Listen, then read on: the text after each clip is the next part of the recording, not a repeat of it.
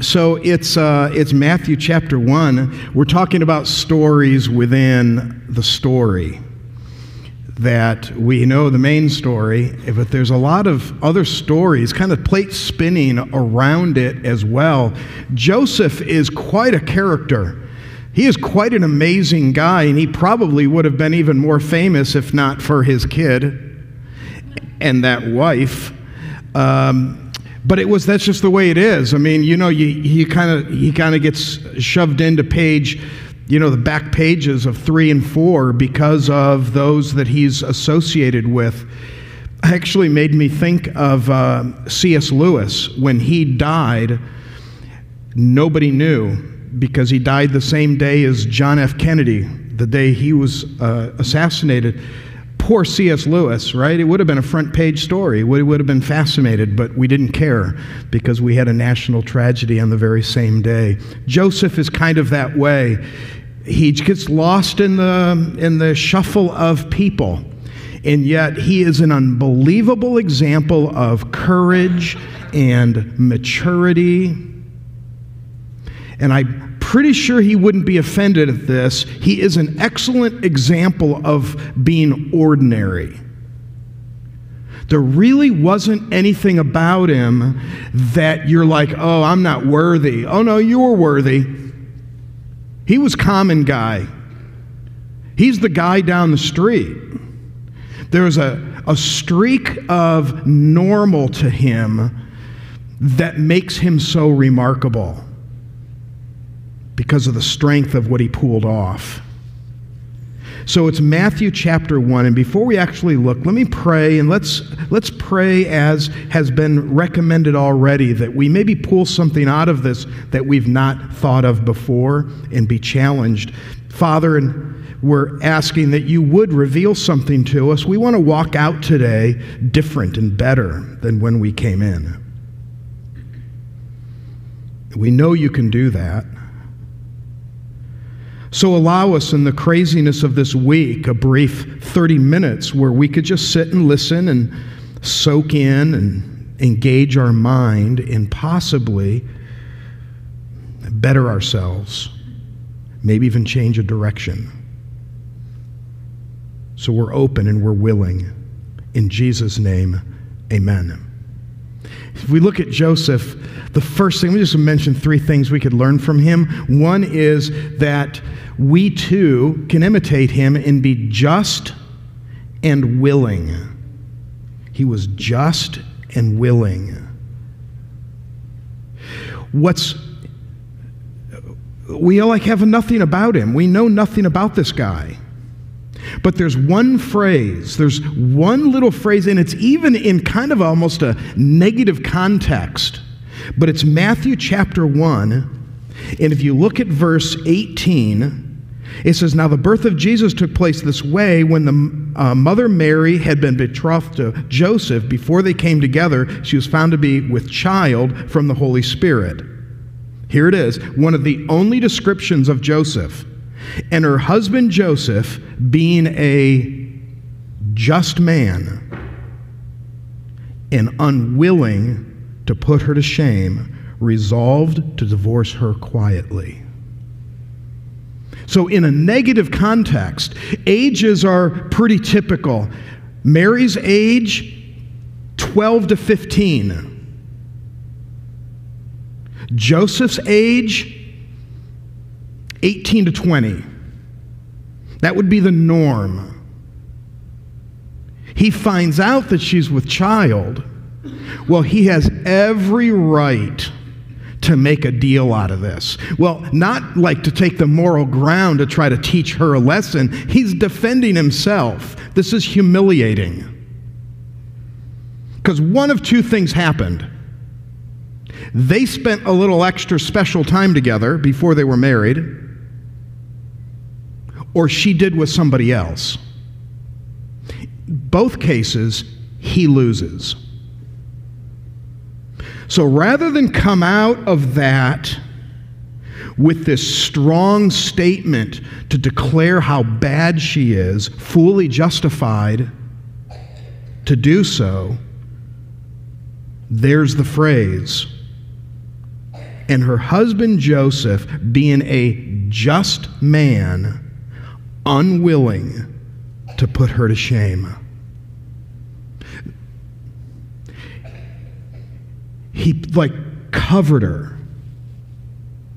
He's like, I'm not, I'm not gonna have her be looked at like this.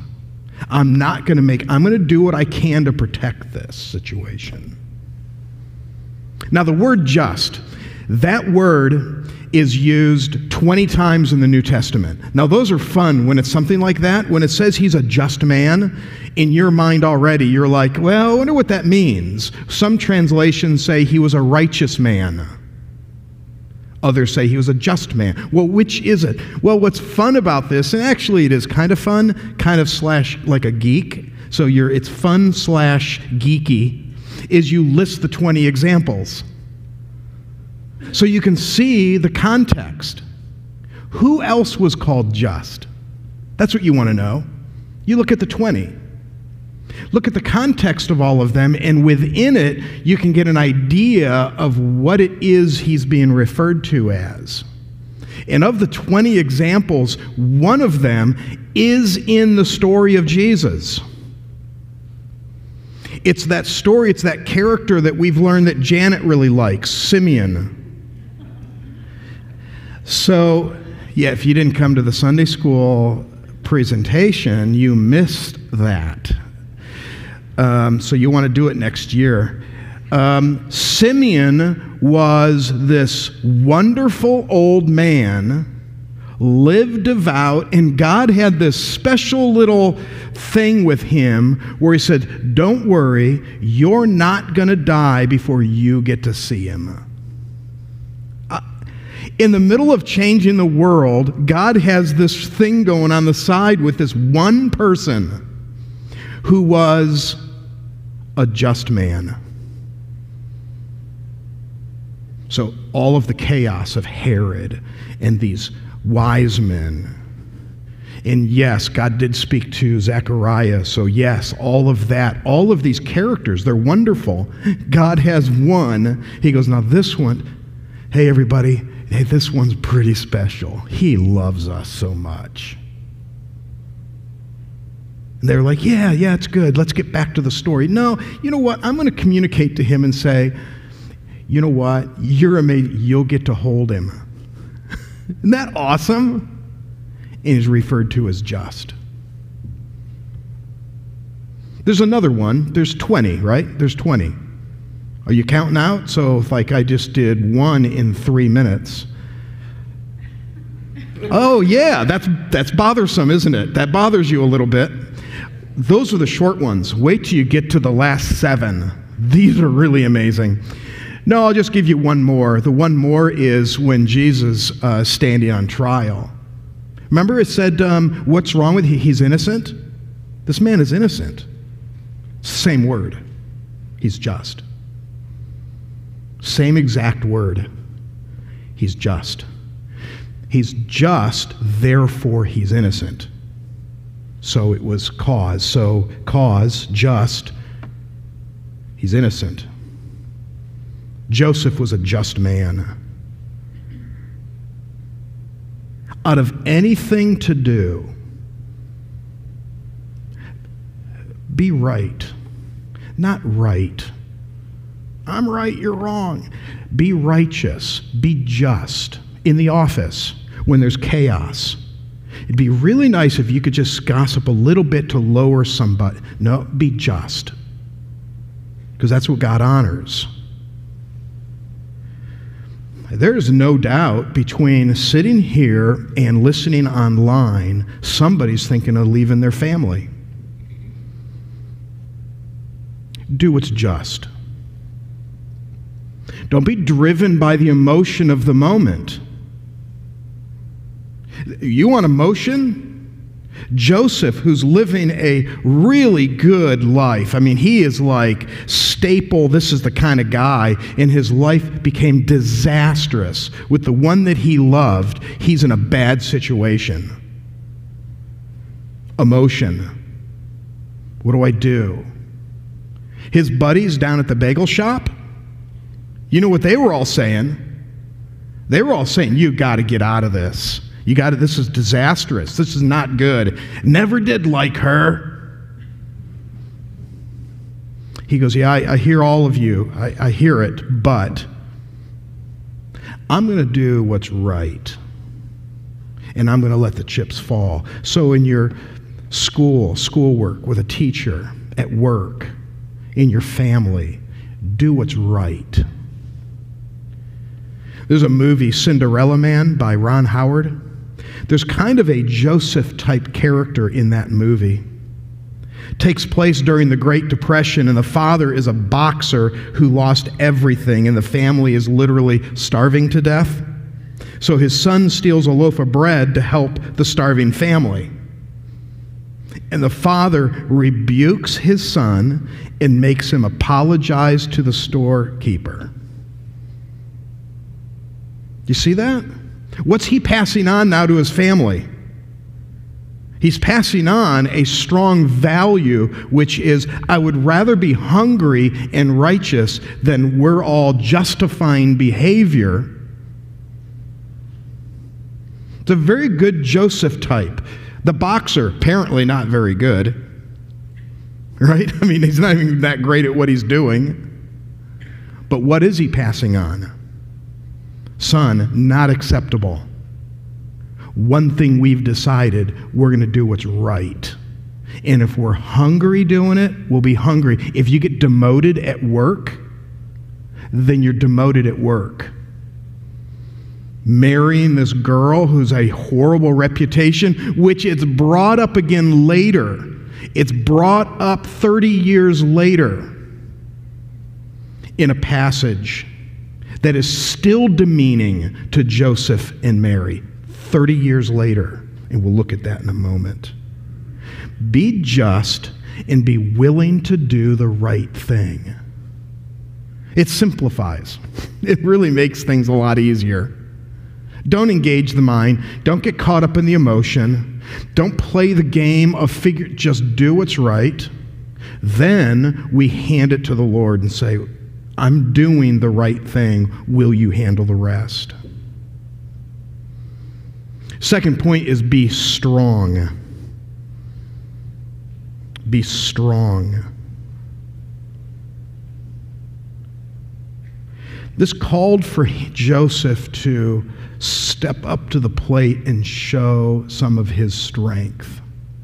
So we were in, uh, we've been to Israel many times, and you pick things up and you hear things and you wonder where some of this is coming from. And so, very often, I've got my group of 50 or so that I'm, Sarah and I are dealing with, and we have a guide who's telling us things that maybe aren't exactly jiving with the Bible.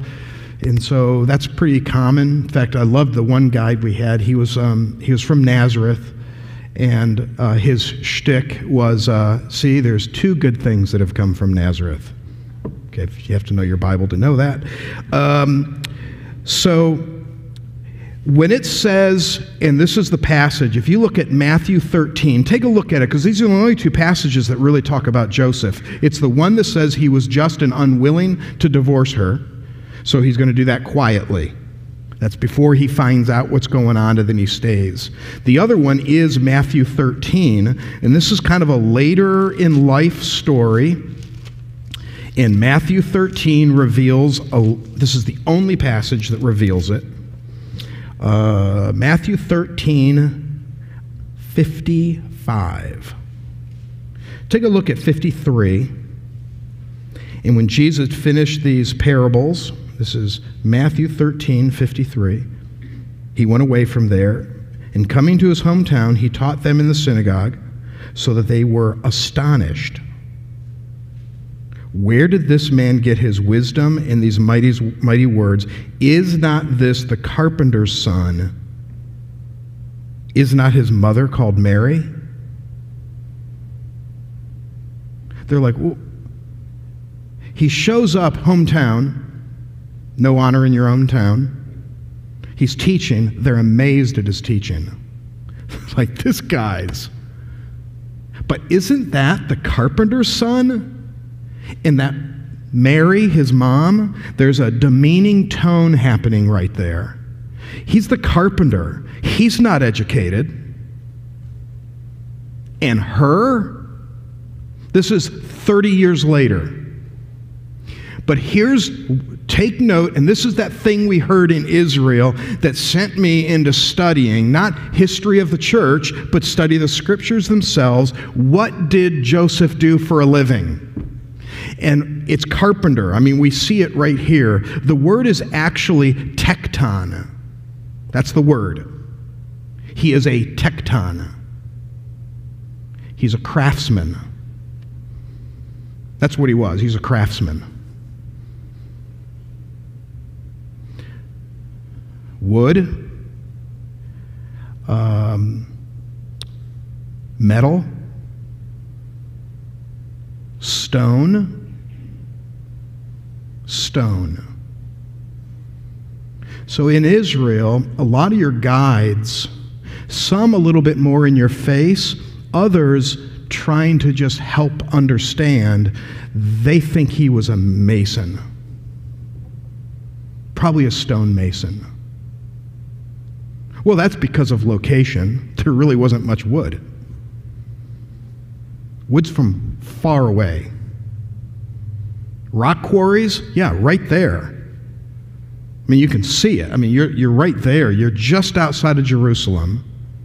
It's Bethlehem. Maybe a stonemason. That's Joseph. Which is it?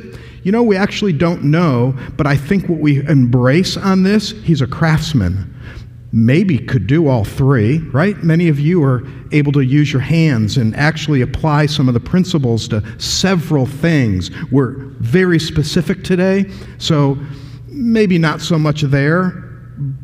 And then he was a craftsman. Joseph, some type of a craftsman. He was just and he was unwilling to put her away in a shameful way. That's all we really know about him. He has other kids. We know that. If you read on, it says, And are not his brothers, James, Joseph, and Simon, and Judas? It's a different Judas, by the way. And are not all his sisters with us? When did this man get all of these things? Hmm. So, Catholicism. Catholicism has a, a, little challenge where history of the church is set at a same level of authority as the scriptures. So if it's been declared, there's that matching with scriptures. And so they'll blend those two more so. That's not a statement of criticism because of a, I have dear Catholic priest friends, and I say that, and he goes, Yeah.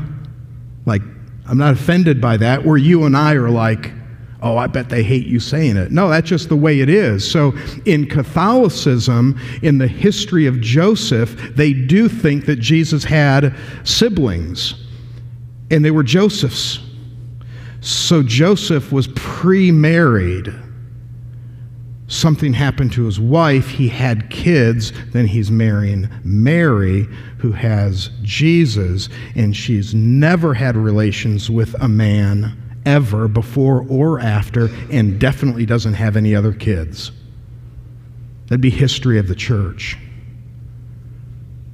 Likelihood, what's the Protestant take on it? When you drop the history of the church and the theology of the church, we tend to say, let's stay with the story. Let's not make this more miraculous than it really, really was, where Joseph's 18 to 20 years old. He's found this amazing gal. It's prearranged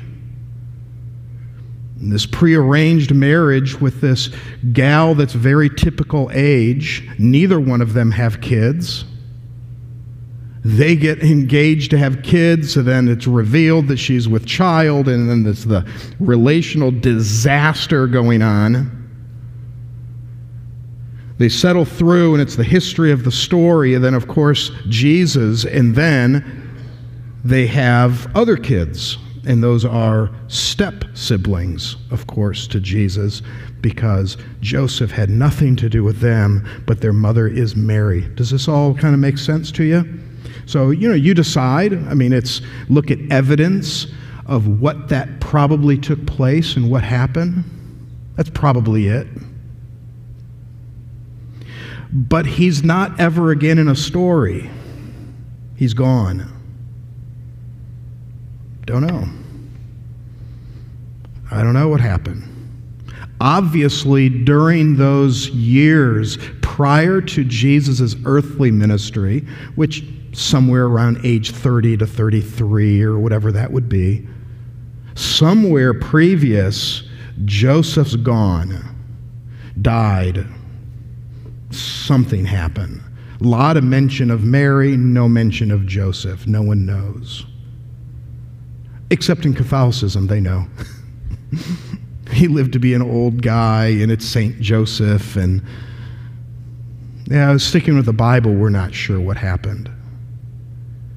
I write a devotional on Wednesdays that I send out, and they're kind of based on Sunday's message, usually, and they, it is this coming week also. Uh, you're welcome to be added to that if you would like. But I found, and I love it, a picture, a painting, and you can find them, Google it for fun, a painting of Joseph holding baby Jesus. Right? It's always Mary and Jesus. Always. There was one that showed Joseph with a halo, the way they do with Mary right? Madonna with child. So it's that halo holding, and I loved seeing that. Other paintings where Joseph is working in the workshop with Jesus, showing him things. I love it. Very ordinary. He was apparently a pillar. Apparently, he was solid. We know he's just, he's willing to do the right thing, and he did. And apparently, then he just kept his head down and he stayed the course. We too can stay strong. In staying strong, I to throw this out on the side. Back to the idea that he was protecting Mary. There's a general spirit amongst evangelical Christians that when somebody sins or something happens, we sure love to point it out. Well, it's because it's a take a easy way to take a moral high ground. Look what they did. You could clothe it different, pray for them. They really need the Lord because look what they did. That wasn't, that wasn't Joseph. Joseph was a coverum, protector. When somebody sins, and let's drop the word sin, makes a big mistake, big mistake at work, big mistake at family. They did it intentionally, so it was clearly wrong. At school, it's a student at school that really messed things up. It may last for a while because there may be a police record. I mean, it's they really messed up the first thing that we do when we hear that is say, that so could be me. That could be me. Might have been you. That's me. If not for the grace of God, that is me. Am I right? It's not pointed out and separate them from us. It's, oh, that could be me. That was a huge mistake. But that could be me. And now let me go in and show love and acceptance and care and help them through this. And let's get as few gawking people as possible. That's very Joseph esque. He was strong.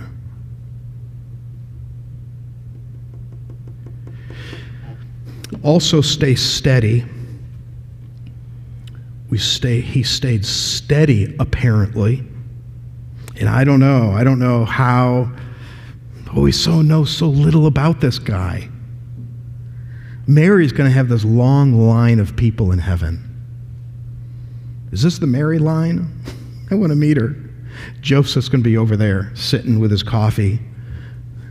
And we go, oh, wait a minute, I want to chat with him for a while. This guy's a pillar. This guy was strong. He was just. And he was very steady. There's a fun story. Uh, Sarah reads. Um, uh, Sarah reads a lot, and so um, it wouldn't. It's not unusual for Sarah to read hundred books a year. So that's kind of a lot to me. I mean, I'm trying to get through the Bible. That's a big one, though. But that's actually 66 books, so let's really call it what it is. It's not one, so you get credit when you knock out those little ones. Um, so she does read a lot, and I usually don't read uh, anything that she reads. So that's like, it's kind of like a, a test. It's when she says, I've read that, I go, oh, that's great to know. That's obviously a book I'm not going to read. That's kind of how that works because the interests are not the same. Uh, and there would be an exception to that, and that would be um, that would be this fun story of Michael and Roselle. And I think I have a picture of Michael and Roselle. Um, Michael and Roselle were these two characters uh, that were uh, become a little bit known because they were on they were on the 78th floor of the um, uh, World Trade Center North. And he tells the story that he's sitting at his desk and Roselle is sitting under the desk, like usual. There was a boom, a loud, deep, unapologetic bellow that seemed to erupt to the very core of the earth. Eerily, the majestic high rise slowly leaned to the south. No alarm sounded. No one had information about what was happening. It was 8:46 a.m. September 11th. Michael's unique because he was born blind, but he was born blind, and this wasn't like this dog that he's had for a long time. At the time, little Roselle, which I believe was called Thunder Dog, uh, was the little nickname because uh, the dog hated thunder. Little Roselle was only three years old, so he had her for nine months at that point, and that's all. He literally didn't know how this is going to play out because it was disastrous personally for individuals that were in the building.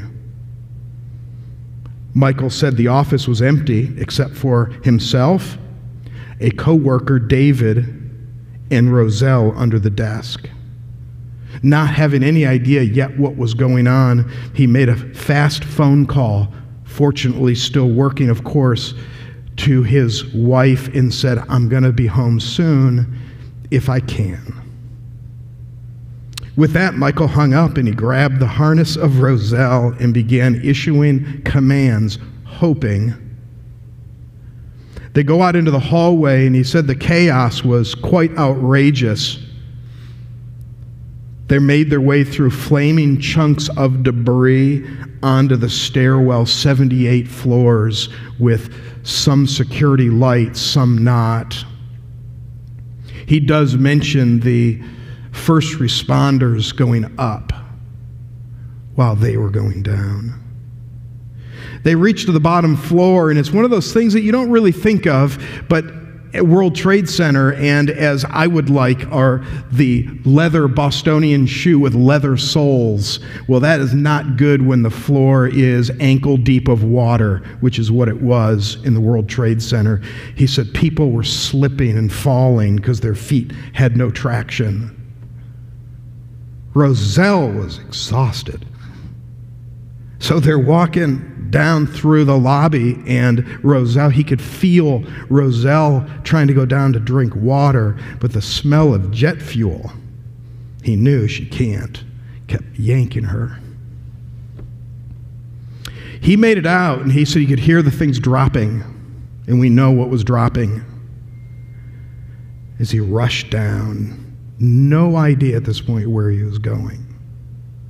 Huge sound, and he turns back and feels just the, the debris, and that was, of course, it's an hour, I believe it's an hour and 45 minutes before that building had dropped, and it dropped.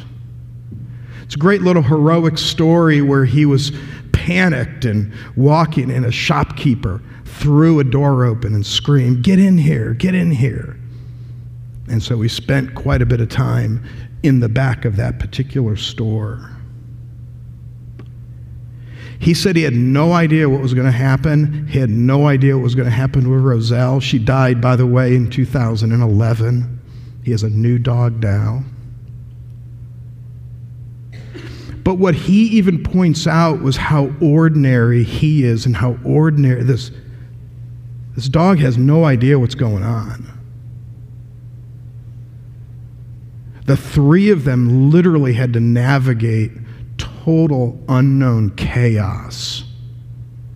And he said, Roselle acted like it was just another day,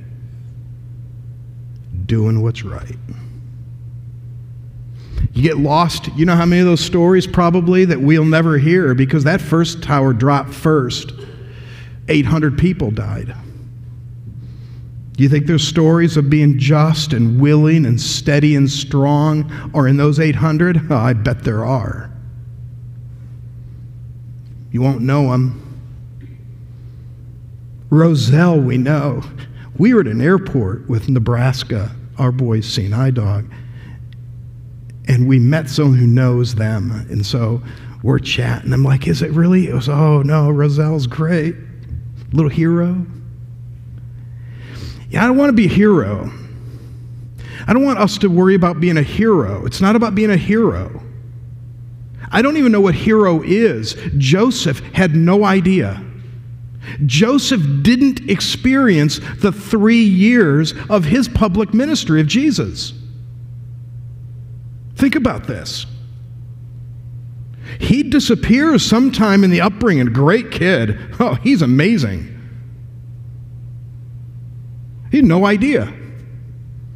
Well, wait, go back decade, two decades. Wasn't he going to be the Messiah? Isn't he the king? Yeah, he is. I don't know what that means. I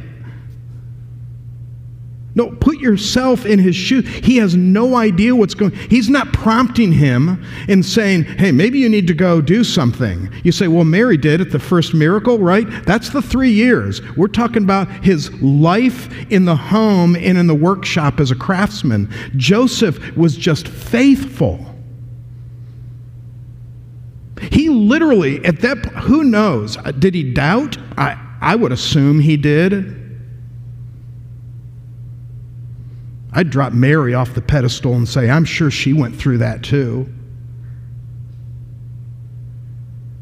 But it's not like he's a hero because, look, he was the, the earthly father, the stepfather to Jesus. He, is ama- he had no clue. Yeah, I know he knew, but nothing was happening. And then he's gone.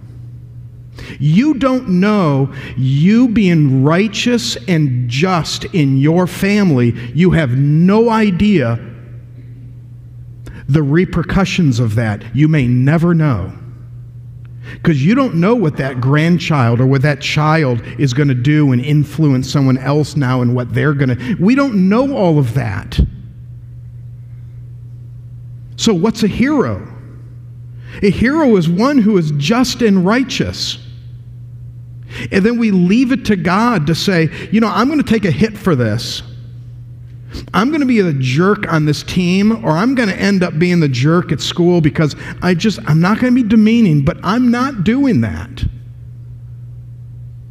And so you go home alone, or you miss another party that you would prefer being at, but because you value being just, you don't want to go. But you want to go. No, I'm going to be just and righteous. And you're sitting at home. There's no parade. There's no, look, you're a hero. There's none of that. You're just home alone. But to God, you're a hero. And I don't know what he does with that, but what's that old phrase of Henry Blackaby? Anybody in the hands of God can do what God can do. That's what Joseph did. I'm going to put myself in the hand of God and I'm going to be steady and I'm going to be strong and I'm going to be righteous and just. And then He's going to work out the rest. Doesn't that even just feel good?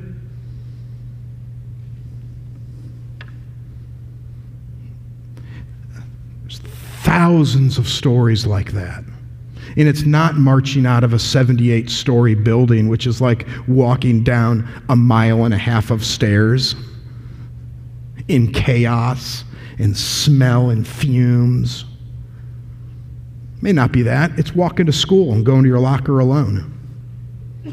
It's going after work, realizing I just got lied about, and I think I may have trouble with my job now. So, what do I do? You do what's right, and you do what's just, and you stay steady and you stay strong, and God will work out the details.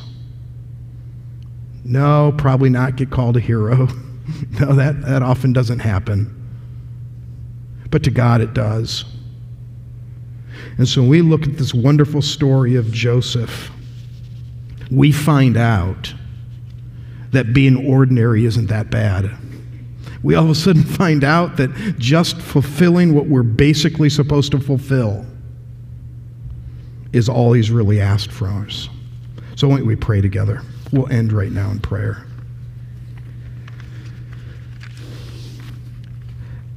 Let me ask you this in the quietness of the moment is there a decision you're facing that you know you need to do what's just? But it's going to take some work. You know, you've got to give something up. You're going to make a bad decision. Seemed right, but you know it's not the right decision. But you're willing to rethink this and say, I can be Joseph esque. No one looking, and you say, Yeah, there's, I'm facing one, and I need to do what's right. I'm going to commit to do what's right. No one's looking around. Just lift your hand up and say, Yep, I'm going to do what's right in this situation? Is there one in your mind right now? That's right. Just lift it up and right back down. That's it. Yep, I do. I see you. Just right back down again. Yep, several cross. No one's going to throw parade for you, but God will. Heavenly Father, we're asking right now that you would help us to be Joseph esque that we would be right, just, and fair, steady and strong, doing the right thing. And we trust you with the details. In Jesus' name we pray. Amen.